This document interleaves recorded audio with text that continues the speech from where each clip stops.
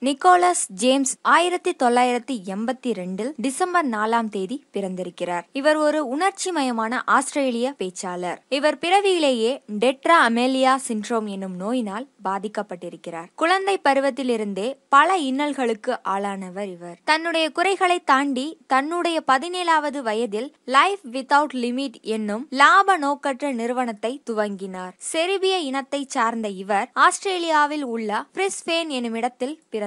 இவர் இரண்டு கால்களும் இல்லாமல் இரண்டு கைகளும் இல்லாமல் பிறந்தவர். ஆரம்பத்தில் இவருடைய ஊனத்தின் காரணமாக கல்வி நிறுவனங்களின் அனுமதி மறுக்கப்பட்டது. பிறகு சட்டத்தில் ஏற்பட்ட மாறுதல்கள் காரணமாக இவர் மனநலம் குன்றியவர்களோடு இணைந்து படிக்க வேண்டிய சூழல் ஏற்பட்டது. இவர் தன்னுடைய எட்டாவது வயதில் மன உளைச்சல் காரணமாக தற்கொலை முயற்சியில் ஈடுபட்டார். தன்னுடைய பத்தாவது வயதில் தன்னுடைய பெற்றோர்களின் அன்பு காரணமாக அதனை கைவிட்டார். அவருடைய தாயார் செய்தித்தாளில் வெளியான அவரை போன்ற மாற்றுத்திறனாளியின் வாழ்க்கையை பற்றி காட்டினார். இது அவருக்கு நம்பிக்கையை ஊட்டியது. தன்னுடைய வாழ்க்கைக்கு தேவையான அனைத்து பணிகளையும் தானாகவே வேறு ஒருவரின் உதவியின்றி செய்ய ஆரம்பித்தார். தன்னை எழுதுவதற்கு பழகி கொடுத்தார் அவருடைய தாயார். பிறகு கணினியில் வேலை செய்வது டென்னிஸ் பந்துகளை தூக்கி எறிய ட்ரம்ஸ் இசைக்கருவியை வாசிக்க தம்ளரில் தண்ணீர் ஊற்றி குடிக்க தலை வாரிக்கொள்ள பல் துளக்க முகச்சவரம் செய்து கொள்ள மற்றும் தொலைபேசியை பயன்படுத்துவதற்கு இதுபோன்று எல்லாவற்றையும் கற்றுக்கொண்டார். தன்னுடைய ஏழாம் வகுப்பில் பள்ளியின் மாணவ தலைவராகவும் தங்கள் பள்ளிக்கான நன்கொடை வசூலிப்பதற்காகவும் அருகிலுள்ள தொண்டு நிறுவனங்கள் அணுகுதல் உள்ளிட்டவைகளை செய்பவராகவே விளங்கினார்.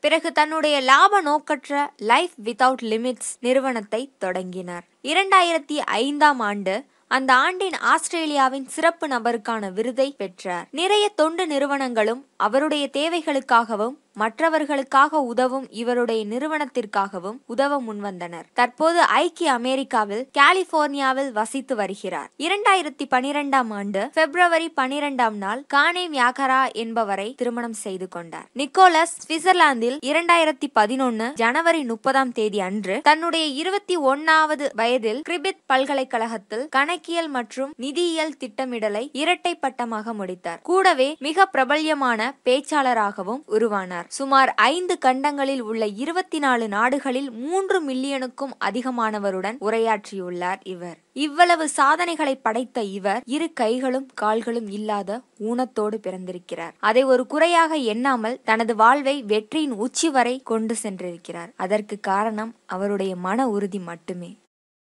மேலும் இது போன்ற வீடியோக்களை பார்க்க சினிமா கிரவுட் சேனலை சப்ஸ்கிரைப் பண்ணுங்க. கூடவே இந்த பெல் ஐக்கானை கிளிக் பண்ணுங்க. புது புது வீடியோக்கள் எல்லாம் உங்க மொபைல்ல நோட்டிபிகேஷனா வரும்.